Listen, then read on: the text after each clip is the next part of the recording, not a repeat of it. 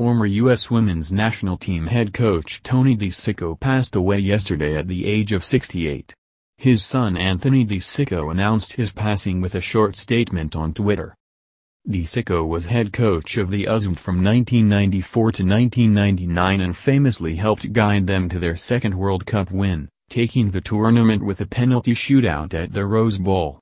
He also coached the team to a gold medal win in 1996 at the Atlanta Olympics, the first year women's soccer was included as an Olympic sport.